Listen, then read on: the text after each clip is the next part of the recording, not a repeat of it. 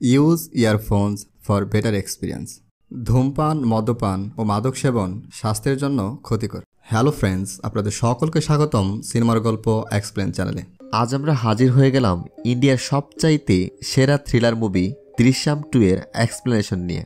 Drishyam movie দেখেননি, এমন মানুষ হয়তো খুঁজে পাওয়া দুষ্কর। তারই ধারাবাহিকতায় দৃশ্যাম টু এর অফিসিয়াল রিমেক নিয়ে এসেছে অজয় দেবগান। সাত বছর আগে হওয়া খুন পুলিশ বের করে ফেলে। বিজয় এবার কীভাবে বাঁচাবে তার পরিবারকে? মারাত্মক টুইস্ট আর থ্রিলিংয়ের সাথে মুভিটি এনজয় করতে হলে দেখতে হবে সম্পূর্ণ ভিডিও তাই অবশ্যই ভিডিওটি শেষ পর্যন্ত দেখার অনুরোধ রইল। তো অত কথা না বাড়িয়ে চলুন গল্পটি শুরু করা যাক। দৃশ্যাম টু এর গল্প শুরু করার আগে আপনাদের বোঝার সুবিধার্থে আমি দৃশ্যাম একের গল্পটা একটু মনে করিয়ে দিচ্ছি। আইজে মীরার ছেলে স্যাম, বিজয়ের বড় মেয়ে অঞ্জুর বাথরুম থেকে গোপন ক্যামেরায় কিছু নুট ছবি তুলে নেয়। আর যেটা দিয়ে স্যাম অঞ্জুকে ব্ল্যাকমেল করছিল। হঠাৎই একদিন স্যাম অঞ্জুর বাড়িতে চলে আসে। সেদিন বিজয় তার বাড়িতে ছিল না। স্যাম তাদের বাড়িতে এসে অঞ্জুকে ও তার মা নন্দিনীকেও ব্ল্যাকমেল করতে থাকে। নন্দিনী স্যামের কাছ থেকে তার ফোন কেড়ে নিয়ে সেটা ভেঙে ফেলে।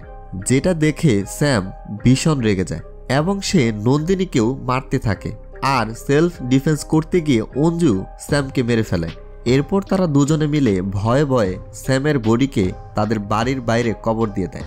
এরপর যখন বিজয় বাড়ি ফিরে, নন্দিনী তখন বিজয়কে সমস্ত ঘটনা খুলে বলে। বিজয় সমস্ত সিচুয়েশন বুঝে রাত হলে সে স্যামের বডিকে অন্য কোথাও শিফট করে দেয়। আর বিজয় এই মার্ডার কেস থেকে তার ফ্যামিলিকে বাঁচানোর জন্য একটা বিশাল বড় মাস্টার মাইন্ড প্ল্যান করে ফেলে। এরপর যখন আইজে মীরা তার ছেলের কেসটা স্টাডি করে তখন সে বিজয় এবং তার ফ্যামিলিকে অনেকবার ইন্টারোগেট করে, যার ফলে বিজয়ের ফ্যামিলিকে অনেক হেনস্থার শিকার হতে হয়। কিন্তু পুলিশ কোনো এভিডেন্সই তার ফ্যামিলির বিরুদ্ধে জোগাড় করতে পারে না, যার জন্য বিজয় এবং তার ফ্যামিলি এই মার্ডার কেস থেকে রেহাই পেয়ে যায়। এইভাবে দৃশ্যাম পার্ট ওয়ান এখানেই শেষ হয়। কিন্তু স্যামের ডেড বডি খুঁজে না পাওয়ার জন্য এই কেস ইনকমপ্লিট হয়ে চাপা পড়ে যায়। এবার দৃশ্যাম টুতে মুভি শুরু হয় ছয় বছরের আগের সেন দিয়ে, যে টাইমে স্যামের মার্ডার হয়েছিল। যেখানে আমরা ডেভিড নামের একজন লোককে জঙ্গলের দিকে ছুটতে দেখি। আসলে ডেভিড তার ড্রাগ স্মাগলার বসকে খুন করে ফেলেছিল। সেজন্য পুলিশ তার পেছনে পড়ে যায়। পুলিশের হাত থেকে বাঁচার জন্য সেখানে ওখানে লুকানোর চেষ্টা করছিল।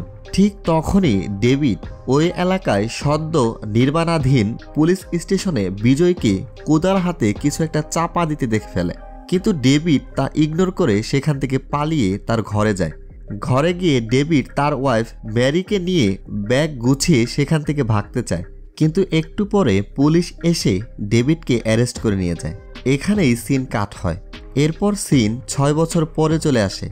বিজয় এখন তার কেবল টিভির বিজনেসের সাথে সাথে একটা থিয়েটার খুলে ফেলেছে। তাই বিজয় এখন বেশ ধনী ব্যক্তি হয়ে গেছে। প্রথম থেকে বিজয়ের সিনেমা বানানোর একটা ইচ্ছা ছিল।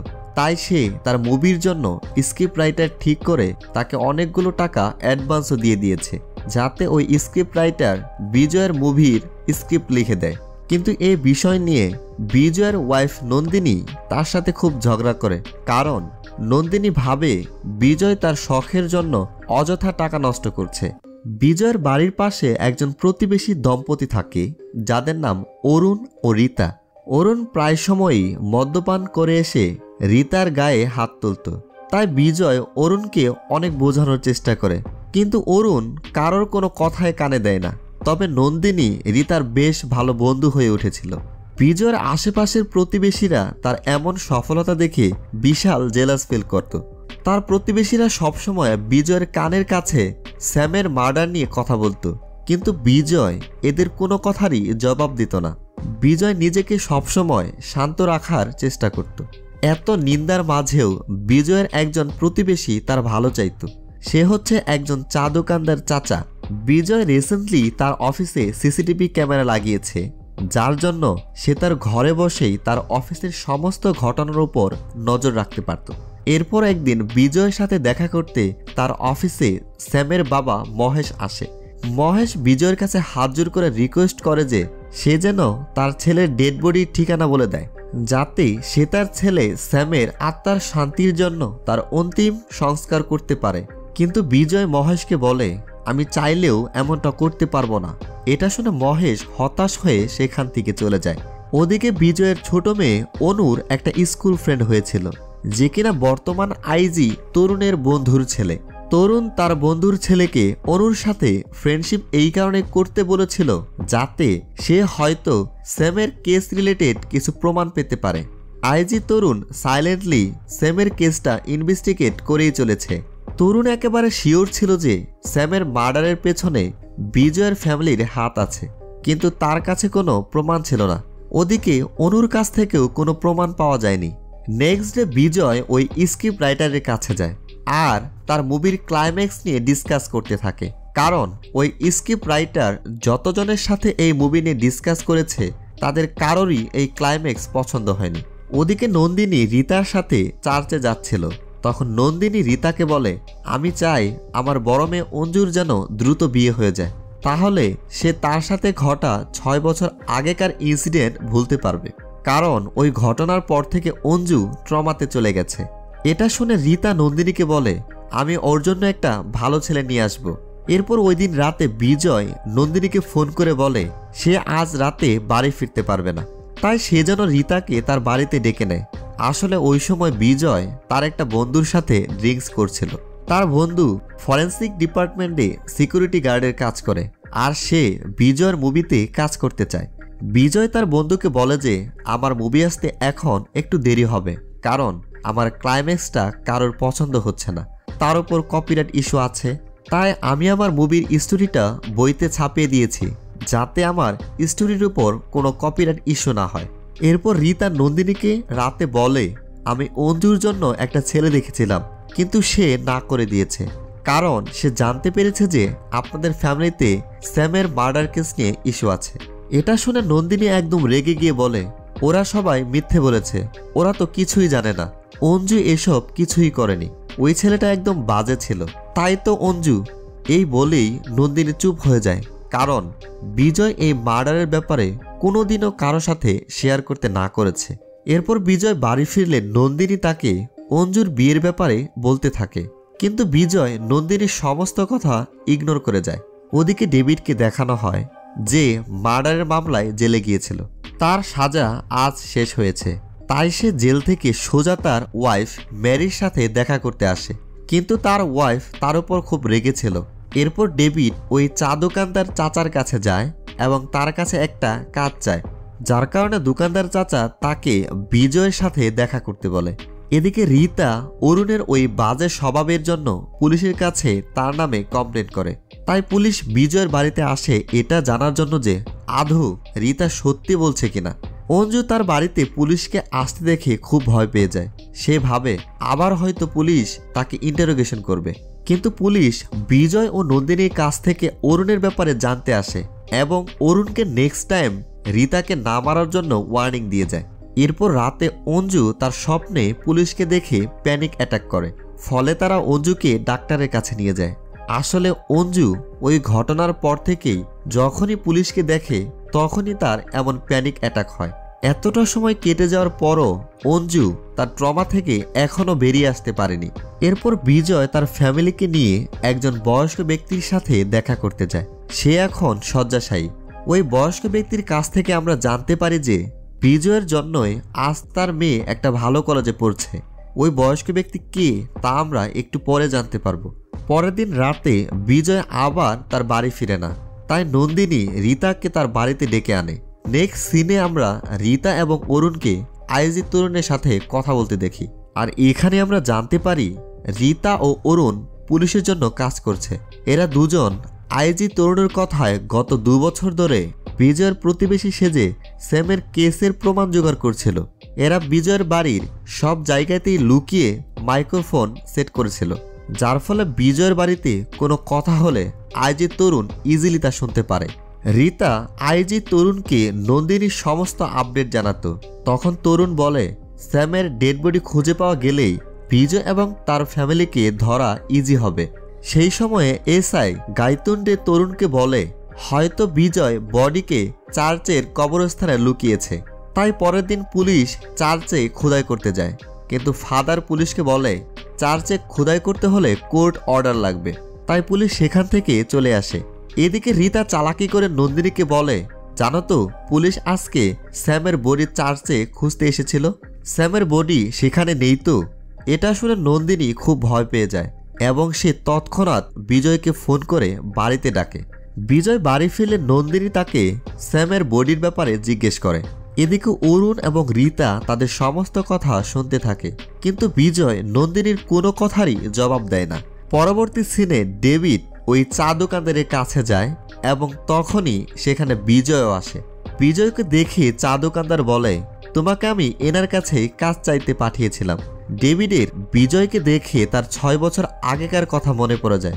সে ভাবে যে এই মানুষটাকে আমি ছয় বছর আগে কুদাল হাতে পুলিশ স্টেশনে কিছু একটা লুকাতে দেখেছিলাম। তার সাথে সাথে ডেভিড এটাও খবর পায় যে ব্যক্তি স্যামের মার্ডার কেসের, স্যামের বডি কিংবা কোনো সঠিক প্রমাণ পুলিশকে দিতে পারবে, তাকে ভালো অঙ্কের টাকা দেওয়া হবে। এটা জেনে ডেভিড, তাড়াতাড়ি তরুণ এবং গাইটন্ডের সাথে দেখা করে। আর তাদেরকে ছয় বছর আগের সব ঘটনা বলতে থাকে। ডেভিড স্যামের মা বাবার সামনে বলে, ছয় বছর আগে যখন আপনাদের পুলিশ স্টেশনের কনস্ট্রাকশনের কাজ চলছিল, তখন বিজয় এখানেই কোদাল হাতে কিছু লুকাচ্ছিল। এটা শুনে তরুণ বুঝে যায় যে বিজয় পুলিশ স্টেশনের নিচেই স্যামের বডি লুকিয়েছে। তরুণ পুলিশ স্টেশন খোদাই করার পারমিশন নিয়ে পুলিশ স্টেশন খোদাই করতে থাকে। পুলিশের মুখে এই খোদাইয়ের কথা শুনে বিজয়ের প্রতিবেশীরা সেখানে জড়ো হয় এবং তাদের মধ্যে থেকে একটা ছেলে ছুটে গিয়ে বিজয়কে এই খবর দেয় যে পুলিশ স্টেশন খোদাই চলছে। এটা শুনে বিজয় শকড হয়ে যায়। তাই সে নন্দিনীকে বলে, বাচ্চাদের সাথে ঘরে থাকতে এবং ঘরের দরজা জানালা সব বন্ধ করে দিতে। এরপর সে তার অফিসে চলে যায়। এদিকে পুলিশ স্টেশনে খোদাই করার পর পুলিশ একটা স্কেলিটন পায়। পুলিশ সঙ্গে সঙ্গে তা ফরেন্সিক ল্যাবে পাঠিয়ে দেয়। সাথে তরুণ স্যামের বাবা মাকেও ইনফর্ম করে দেয়। তরুণ মীরাকে বলে, ফরেন্সিক রিপোর্ট থেকে এটা জানা গেছে যে এই স্কেলিটন একটা ছেলের, যার বয়স মোটামুটি চোদ্দ থেকে ২০ বছর। আর তার মৃত্যু মাথায় আঘাত লাগার কারণেই হয়েছে। কিন্তু ডিএনএ টেস্টের রিপোর্ট এখনও আসেনি। এরপর মীরার লয়ার কোর্টের কাছে বিজয় এবং তার ফ্যামিলিকে ইন্টারোগেট করার জন্য দুই দিনের সময় চায়। কিন্তু কোর্ট শুধুমাত্র একদিনের সময় দেয়। তাই পুলিশ পরের দিনই বিজয় ও তার ফ্যামিলিকে জিজ্ঞাসাবাদ শুরু করে। যেখানে আইজি তরুণ তাদের সত্যিটা বলার জন্য ফোর্স করে যে তারাই শ্যামকে মেরেছে। কিন্তু পুলিশ তাদের মুখ থেকে কোনো কথাই বের করতে পারে না। মীরা বিজয়ের বরমে অঞ্জুকে সত্যিটা বলার জন্য ফোর্স করতে থাকে। এতে অঞ্জুর আবার প্যানিক অ্যাটাক চলে আসে। এটা দেখে বিজয় তরুণকে বলে, আমি সমস্ত সত্যি বলে দেব, কিন্তু আমার ফ্যামিলিকে যেন টর্চার না করা হয়। এই বলে বিজয় তার কনফেশন রাখে। সে বলে, আমি স্যামের মাথায় আঘাত করে তার মার্ডার করেছি এবং তার বডিকে পুলিশ স্টেশনের নিচে লুকিয়ে রেখেছিলাম। আর পুলিশ বিজয়ের এই বক্তব্যকে রেকর্ড করে। তাই পুলিশ বিজয়কে পুলিশ কাস্টডিতে নিয়ে নেয় এবং পরের দিন বিজয়কে কোর্টে পেশ করে। এদিকে তরুণ, মীরা এবং মহেশের সাথে ডিসকাস করতে থাকে যে এবার বিজয় কোনোভাবে বাঁচতে পারবে না। ঠিক তখনই সেখানেই বিজয়ের মুভির স্ক্রিপ্ট রাইটার এসে উপস্থিত হয় এবং সে বলে, কিছু বছর আগে বিজয় আমাকে তার মুভির স্ক্রিপ্ট লেখার জন্য বলে। তার জন্য সে আমাকে কিছু টাকা অ্যাডভান্স দিয়েছিল। যেহেতু বিজয়ের স্টোরিটা খুবই ইন্টারেস্টিং ছিল, তাই আমি বিজয়ের স্টোরি লেখার জন্য রাজি হয়ে যাই। এই বলেই সে আইজি তরুণকে বিজয়ের স্ক্রিপ্ট শোনাতে থাকে। এই গল্পের স্টোরিতে একজন রাম নামের মিডিল ক্লাস লোক ছিল। তার আঠারো বছরের যতীন নামের একজন ছেলে ছিল। একদিন রাতে যতীন তার ফ্রেন্ডদের সাথে পার্টি করতে যায়। সেখানে একটা মাতাল যতীনের একটা ফ্রেন্ডের সাথে অসভ্যের মতো আচরণ করতে থাকে। এই দেখে যতীন এবং ওই ছেলেটার মধ্যে মারামারি লেগে যায়। ওই ছেলেটা আসলে একজন বিশাল বড় বিল্ডারের ছেলে ছিল। এরপর যতীন তার বাড়ি চলে আসে। ওই ছেলেটা যতীনকে মারবে বলে তার পিছু করতে করতেই তার বাড়ি চলে আসে। সেখানে আবার তাদের মধ্যে জোরদার মারামারি হয়। আর ভুলবশত যতীনের হাতে ওই ছেলেটা মারা যায়। এরপর রাম বাড়ি ফিরলে তার ছেলেকে এমন অবস্থায় দেখে সে ঠিক করে যে সে তার ছেলেকে যে করেই হোক এই কেস থেকে বাঁচাবে। তাই ওই ছেলেটার বাবা যেখানে একটা নতুন বিল্ডিং তৈরি করছিল, ঠিক সেখানেই রাম তাকে কবর দিয়ে দেয়। রাম জানতো যে পুলিশ একদিন না একদিন ওই বিল্ডারের ছেলের বডিকে নিশ্চয়ই খুঁজে ফেলবে এবং সেদিন তাকে অ্যারেস্ট করে নেবে। আর ঠিক এমনটাই হলো, একদিন পুলিশ ওই বিল্ডারের ছেলের বডি খুঁজে পেয়ে যায়। এবং তারপরে রাম তার সমস্ত দোষ স্বীকার করে নেয় এবং ফাইনালি সে জেলে চলে যায়। এই স্টোরি শুনে আইজি তরুণ এবং সমস্ত পুলিশ অফিসাররা শক হয়ে যায়। কারণ বিজয়ের সাথে যা ঘটেছিল, সেটা সে অনেক আগেই প্রেডিক্ট করে নিয়েছিল। এরপর ওই স্ক্রিপ্ট রাইটার আরও বলে, কিন্তু এই স্টোরিটার ক্লাইম্যাক্স ভালো ছিল না। কারণ কোনো দর্শকই চাইবে না যে গল্পের হিরো শেষকালে জেলে যাবে। তাই আমরা এই স্টোরিকে দৃশ্যাম নামের একটি বইতে পাবলিশ করিয়ে দিই, যাতে কেউ এই গল্পের কপিরাইট না নিতে পারে। এই সময় আইজি তরুণের কাছে এসআই গাইতুন্ডের ফোন আসে এবং সে বলে, কোর্টে বিজয় তার নিজের বক্তব্য থেকে পাল্টি খেয়েছে। বিজয় জজকে বলে, পুলিশ নাকি তাকে দিয়ে জোরপূর্বক এই বয়ান রেকর্ড করিয়েছে। বিজয়ের আইনজীবী বলে, পুলিশ দৃশ্যাম নামের একটি বইয়ের কাহিনী থেকে এই ক্লাইম্যাক্স বানিয়ে আমার মক্কেল বিজয়কে ফাঁসিয়েছে। আর ঠিক এই কারণে বিজয় প্রথমে তার স্টোরিকে বইতে পাবলিশ করেছিল, যাতে সে এভাবেই ওই বইটার শব্দ সদ্ব্যবহার ঠিক টাইমে করতে পারে। আসলে সব কিছুই তার প্রি প্ল্যান ছিল। এরপর কোর্টে একটা টুইস্ট রিভিল হয়, যেটা শুনে সবাই শকড হয়ে যায়। অ্যাকচুয়ালি পুলিশ স্টেশনের নিচে থেকে যে কঙ্কালটি পাওয়া গিয়েছিল, তার ডিএনএ টেস্ট করে জানা গেছে সেটা স্যামের কঙ্কাল নয়, অন্য কারোর এদিকে ওই স্ক্রিপ্ট রাইটার আইজি তরুণকে বলে, বিজয় এই স্টোরির জন্য আরও একটি ক্লাইম্যাক্স ভেবে রেখেছিল। আর তখনই মুভির ফ্ল্যাশব্যাক দেখানো হয়। বিজয় প্রথম থেকেই জানতো যে পুলিশ তাকে একদিন না একদিন ধরেই ফেলবে। তাই সে এই কেস থেকে নিজের পরিবারকে বাঁচানোর জন্য একটা চোদ্দ থেকে বিশ বছরের ছেলের ডেড বডির সন্ধানে ছিল, যার মৃত্যু মাথায় আঘাত লাগার কারণে হয়েছে এবং অনেকদিন পর বিজয় এমন একটা লাশ পেয়েও যায়, যার জন্য বিজয় ওই ছেলেটার ফিউনরালে যায় এবং যে ওই বডিটা কবর দিচ্ছিল, তার সাথে বিজয় ভালো ফ্রেন্ডশিপ করে ফেলে এবং তার ফ্যামিলিকে অর্থনৈতিকভাবে খুব সাহায্য করে। ইনি হলেন সেই ব্যক্তি যার এখন বয়স হয়ে গেছে এবং সে এখন শয্যাশায়ী।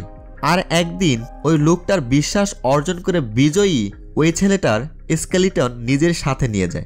বিজয় জানতো যে স্যামের স্কেলিটন পাওয়ার পর তার সাথে ঠিক কি কি হতে পারে। সেই কারণেই সে ফরেন্সিক ডিপার্টমেন্টের সিকিউরিটি গার্ডের সাথে ফ্রেন্ডশিপ করে রাখে আগে থেকেই। কারণ সে জানতো পুলিশ যদি স্যামের কঙ্কাল পেয়ে যায়, তাহলে সেটা এই ডিপার্টমেন্টে পরীক্ষা করার জন্য পাঠাবে। আর এরপর ঠিক তাই হলো। পুলিশ তার আইডিয়া মতো কিছু বছর পরে স্যামের স্কেলিটন পায় এবং সেটা ওই ফরেন্সিক ল্যাবে পরীক্ষা করার জন্য পাঠায়। এবার ওই দিন রাতেই বিজয় ওই সিকিউরিটি গার্ডের সাথে ড্রিঙ্কস করে তাকে ঘুম পাড়িয়ে দেয় এবং স্যামের কঙ্কালের জায়গায় ওই ছেলেটার কঙ্কাল রেখে দেয়। এরপর বিজয় স্যামের কঙ্কালকে নিজের সাথে নিয়ে গিয়ে সেটা পুড়িয়ে দেয়। আর স্যামের এমন ক্লাইম্যাক্স বিজয় ওই স্ক্রিপ্ট রাইটারকেও শুনিয়েছিল। এরপর সিন প্রেজেন্ট টাইমে চলে আসে। কোর্টে পর্যাপ্ত প্রমাণ না থাকার জন্য বিজয়কে এই কেস থেকে ছেড়ে দেওয়া হয়। এরপর বিজয় স্যামের অন্তিম সংস্কার করার পর তার আস্থিয়া এবং একটা লেটার সহ কিছু টাকা সে পুরোহিতকে দিয়ে দেয়। যাতে ওই পুরোহিত স্যামের বাবা মাকে ডেকে তার অন্তিম সংস্কারের সমস্ত রিচুয়াল সম্পন্ন করতে পারে। এরপর আইজি তরুণ ওই লেটারটা পড়তে থাকে, যেখানে লেখা ছিল, মহেশ যা চেয়েছিল তা তাকে দেওয়া হয়েছে। আশা করি এরপর যেন তাকে আর হেনস্থা না করা হয়। তাই আইজি তরুণ মীরাকে এবার এই কেস ভুলে যেতে বলে। কারণ তরুণ বুঝে গিয়েছিল যে বিজয় তার ফ্যামিলিকে বাঁচানোর জন্য সারা জীবন ঢালের মতো রক্ষা করবে। আর এখানে মুভিটি শেষ হয়ে যায়। এই মুভি থেকে আমাদের দুটি বিষয় শেখার আছে। আমার মতে, প্রথমত কোনো মেয়ে অথবা ছেলের সম্মান নিয়ে কোনোদিনও খেলতে নেই। একজন মেয়ের যতটা সম্মান প্রাপ্য আছে তেমনই একজন ছেলেরও ততটাই প্রাপ্য। আর দ্বিতীয়ত, পৃথিবীর সব কিছুর চেয়ে নিজের পরিবারকে সব থেকে বেশি ভালোবাসা উচিত। সবাইকে একসাথে থাকা উচিত। তাহলে পৃথিবীর সমস্ত বিপদকে সহজেই অতিক্রম করা সম্ভব। তো এই ছিল আমাদের আজকের ভিডিও ভিডিওটি ভালো লাগলে একটি লাইক দিবেন আর আমাদের চ্যানেলে নতুন হয়ে থাকলে চ্যানেলটিকে সাবস্ক্রাইব করে পাশে থাকা বেলাইকনটি প্রেস করে দিবেন। আজ এ পর্যন্তই। পরবর্তী ভিডিও দেখার আমন্ত্রণ জানিয়ে বিদায় নিচ্ছি। ভালো থাকবেন, সুস্থ থাকবেন।